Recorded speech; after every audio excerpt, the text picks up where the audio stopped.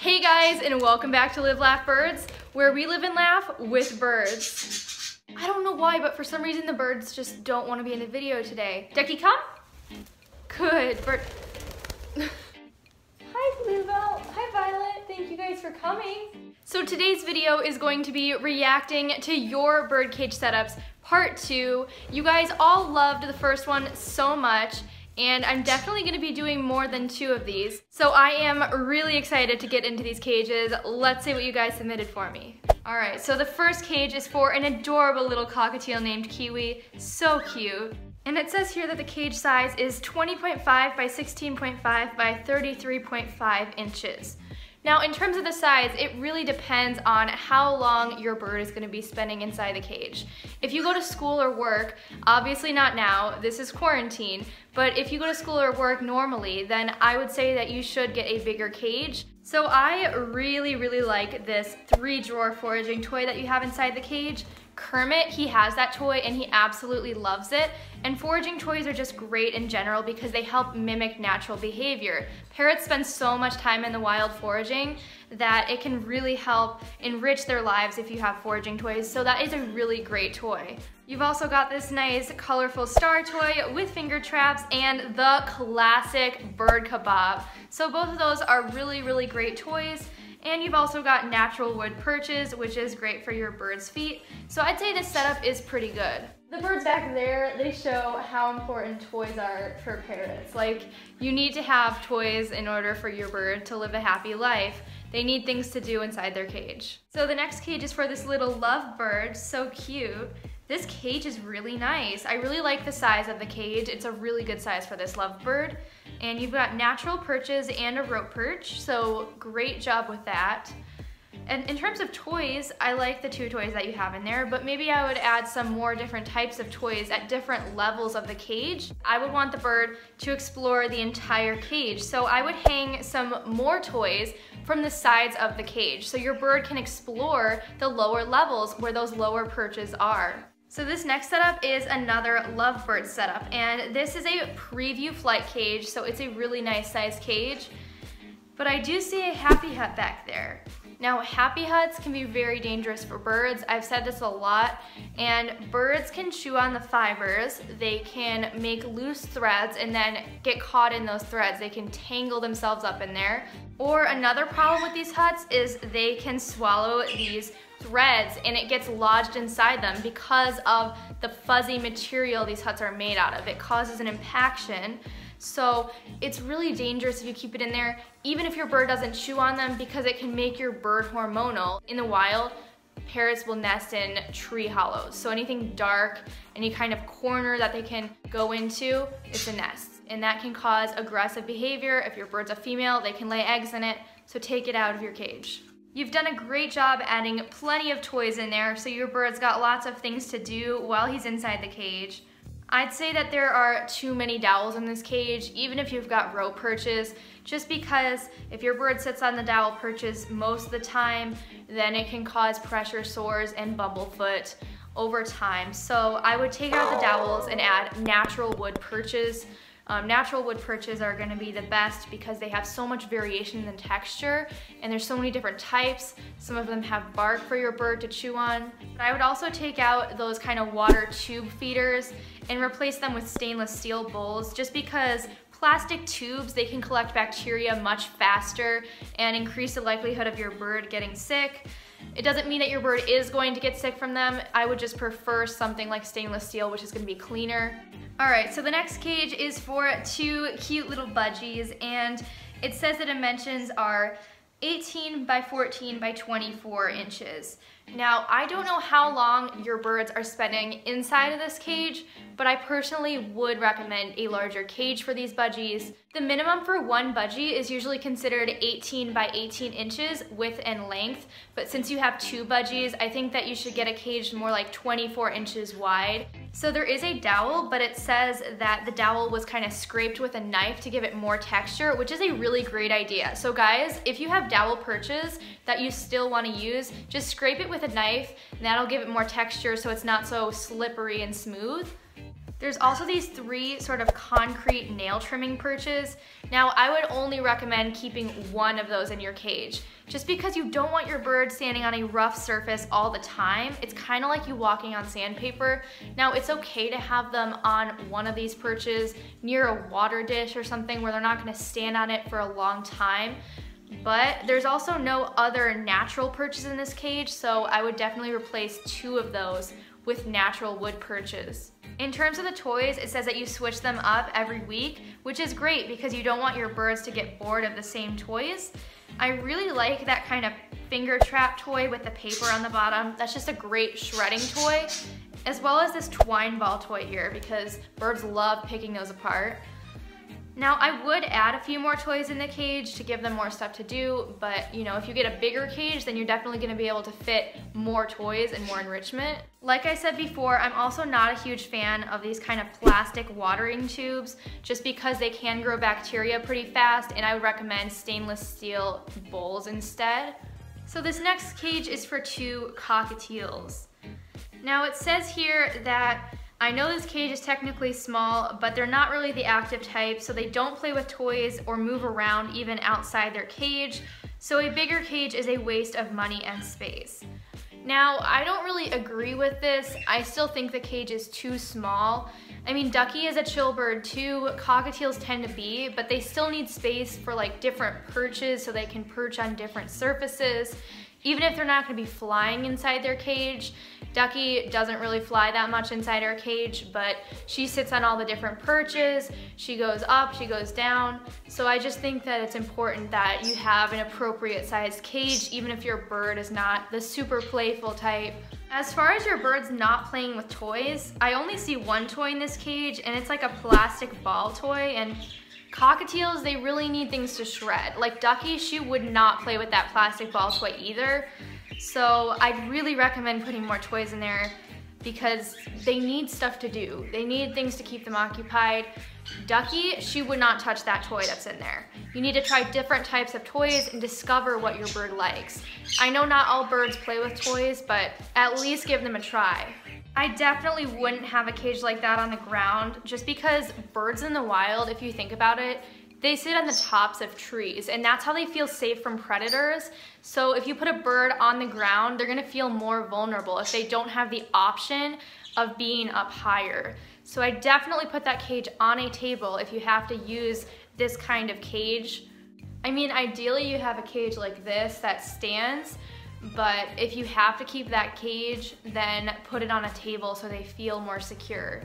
So the next cage is for a cute little blue budgie. Now, personally, I would get a bigger cage. I understand that not everyone can afford a flight cage, but for a budgie, I just really think they're very active birds. They like to fly a lot, so having a flight cage gives them that opportunity. And these kind of little tabletop cages, I see them so much, but I just don't feel like they provide enough space for a budgie to fly. I just see these cages and they're so standard in the budgie world and so many pet stores recommend these cages, but I really think that a flight cage should be standard for budgies. There's two toys in here. I would definitely recommend having more toys in the cage to give your bird more things to do and more things to shred. There's also two dowel perches, a rope perch, and some kind of mineral or concrete perch. Now, I would definitely add natural wood perches in there. Like, you need natural wood perches. So many people don't have them in their cage.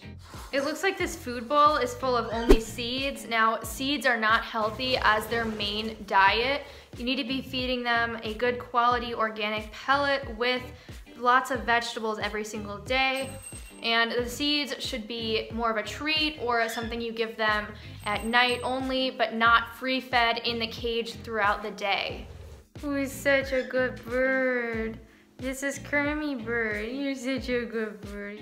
So this is another cage for a budgie, and this looks like a really, really nice cage. This is a flight cage perfect size. This is exactly what is ideal for a budgie, and this is what I feel a budgie needs in terms of space. I really like all the toys you have in there. You've got so much enrichment. There's a platform perch and I really like those because they can rest your bird's feet so your bird doesn't have to grip a perch all the time. I really like that you've got lots of natural wood perches in there, of course, and I really like this cool kind of wood hanging thing. I don't know what to call it, but it's got like the multiple perches sticking out of it. That's a really cool toy perch thing. Overall, this cage looks amazing. You've done a great job. This should be the standard for budgies, and I just, I love this setup. So the next cage is for a green cheek conure. So cute. It's a good sized cage. I like the natural wood perches in there, of course. And I really like how you have this rope perch on the outside of the cage. Like my birds love sitting just outside the cage and they like having those U-shaped rope perches. You've got two toys in there and I really like that kind of ring toy with the blocks.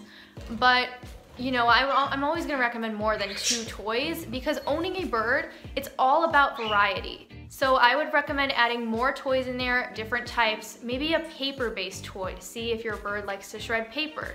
You've got one of those honey treat sticks with like a lot of seeds and sunflower seeds on it. Definitely take that out because that's just junk food for them. It provides no nutrition, it's just not good for them. And it even says that you wanna gain your bird's trust. The way you gain your bird's trust is using seeds as treats because if you keep that inside of your cage, then your bird is gonna eat those seeds and there's no reason for the seeds to be rewarding outside of the cage. So take that treat stick out, it's just plain junk. So the next cage is for a budgie. Now, the first thing that I notice is that it says, I only feed a millet because that's what the person at the pet store said. So you only bought millet. Don't listen to what people at the pet store say. I know this isn't related to the cage setup, but like the pet store people don't know anything. Millet is like a treat. They should only be getting millet for training and for outside the cage.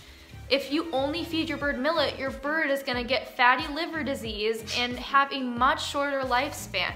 So please, please do your research on diet before getting a bird and don't listen to what a random pet store employee says you know, the birds are the ones that suffer because people don't know better.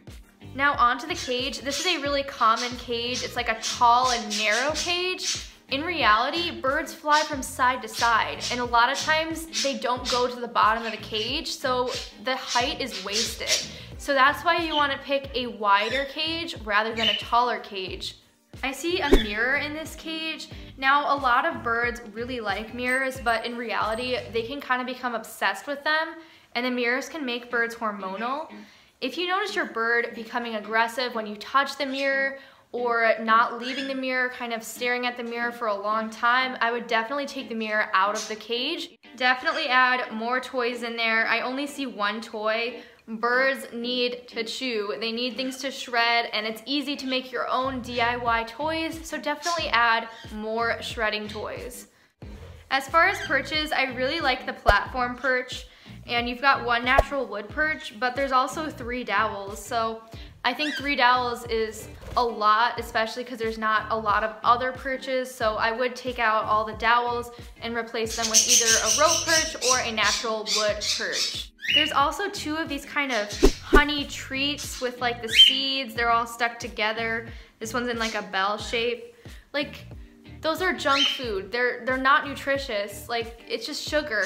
And seeds in the wild aren't stuck together. Like, seeds, they shouldn't be stuck together. So, definitely take those out.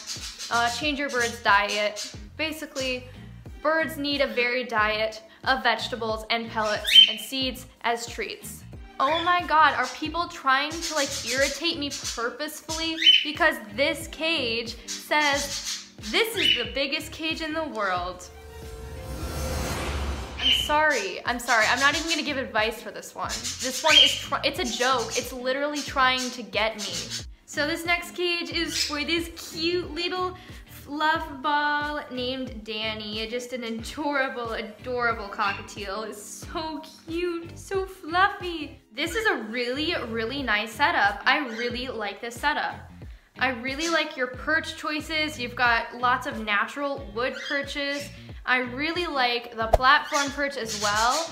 And the toys in there are really good too. Those are great shredding toys. My birds absolutely love those kind of natural toys made out of corn husks. They love shredding those. Really nice setup, just overall. You've got this wooden bridge with the ropes. My birds also really like those as well. You've got a ladder to climb and the classic bird kebab, which can never go wrong. Overall, this is a really, really great setup. I don't see anything to change in here. All right, guys, so this is going to be the last cage of today's video.